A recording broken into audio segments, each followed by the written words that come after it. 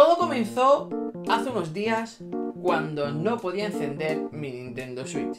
Chicos, pensaba que se me había roto. Pensaba que ya no iba a poder jugar más, que ya me iba a tener que comprar otra y no fue así.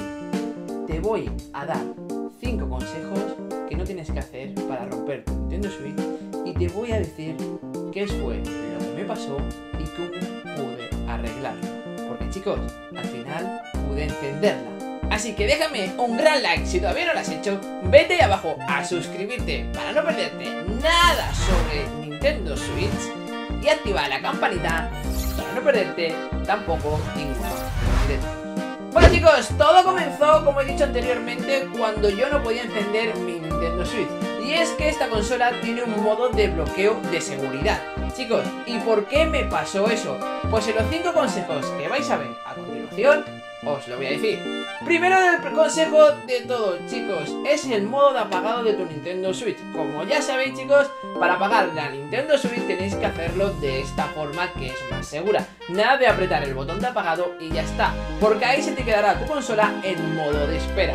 Para ello, chicos, para apagar tu consola bien, lo único que tienes que hacer, chicos, es apretar el botón de Power, chicos, lo apretas durante unos segundos y te saldrá una pantallita donde te pone modo de espera, opciones de apagado.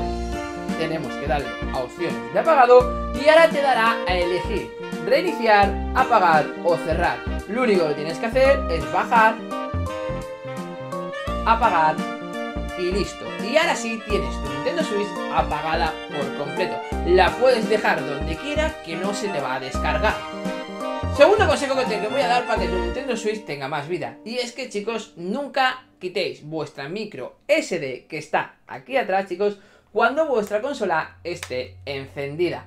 Chicos, si queréis quitar vuestra micro SD, consola apagada. Me dices, sí, Blas, pero cuando tú quitas tu micro SD, cuando está encendida, te sale una alerta, se te apaga la Nintendo Switch y ya la puedes quitar. Chicos, pues aquí viene lo que me sucedió, lo que os he dicho al principio del vídeo. Es que esta consola a veces tiene un modo de seguridad. Es decir, entra en un bucle en el cual tú le vas a dar a encender y no se te va a encender la consola. ¿Cómo puedes arreglar eso?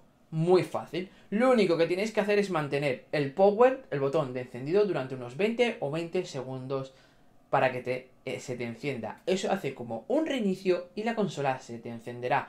Yo incluso estuve casi un día completo sin poder encenderla porque le daba, le daba y no se me encendía. Me puse en contacto incluso con mi garantía para poder mandarla. Me puse en contacto con muchas personas para ver si sabían qué es lo que me podía haber pasado con Nintendo Switch. Hacía 5 minutos que estaba jugando con ella y de repente ya no podía jugar. Entonces no me lo podía creer. Y fue exactamente eso. Mi Nintendo Switch entró en modo seguro y no se encendía. Apretas durante unos 20 o 25 segundos el power y se te encenderá.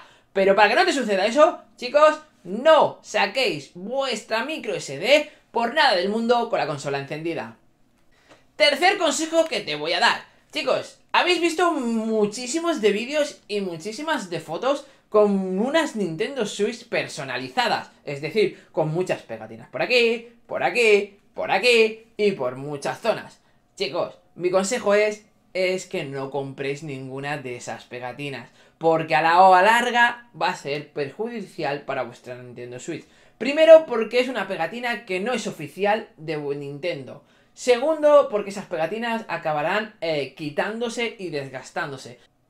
Y lo tercero, esas pegatinas pueden hacer que tu Nintendo Switch se vaya desgastando y pierda el color que tiene.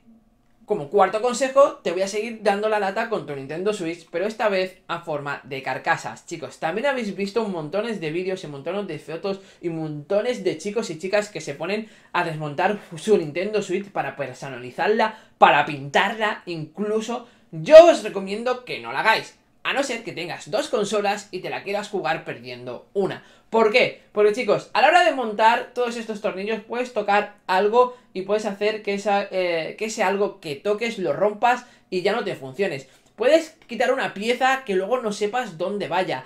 Puedes intentar eh, atornillarlo y romperlo también. Entonces, yo te aconsejo que en tema carcasas, temas pegatinas, dejes tu Nintendo Switch tal como está. Porque sí, lo vas a ver un poquito más bonito, pero te va a servir para lo mismo tu consola. Si queréis hacer una modo carcasas, chicos, sí que hay carcasas oficiales de Nintendo, que es donde tú la dejas. Chicos, si queréis ver mi carcasa o queréis ver mi setup, dejadme un gran like, dejadme un buen comentario ahí abajo. Llegamos a las 1500 visualizaciones en este vídeo durante una semana, hago mi setup y os enseño todo mi setup.